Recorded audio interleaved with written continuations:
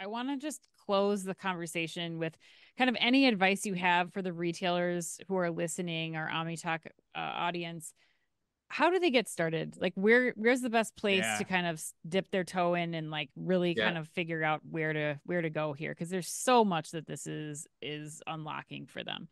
Yeah, I mean, I we've talked about all the sexy end use cases, right? And so I'll, I'll yeah. end in a decidedly unsexy answer, which is to, to be able to do all of these really cool use cases that, that we've talked about, you have to get your data foundation in order and, and you have to get your enterprise data platform in, in order. And so we're seeing a lot of retailers struggle with just bringing all of their data together, landing it in a modern, you know, kind of cloud-based, lakehouse-based architecture, and then being able to structure that data in a way that people can actually consume that information. And so before you go on this data science journey, this Gen AI journey, et cetera, you've got to make that investment in your core enterprise data platform. And so we've actually done probably more work there than in any of the cool use cases that, that we talked about.